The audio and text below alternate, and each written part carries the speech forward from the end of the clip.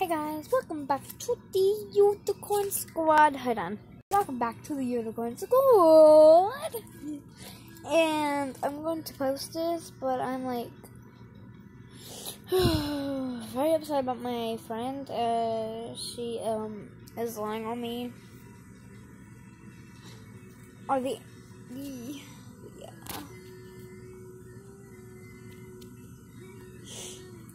I can't explain, Maddie, what you just did. But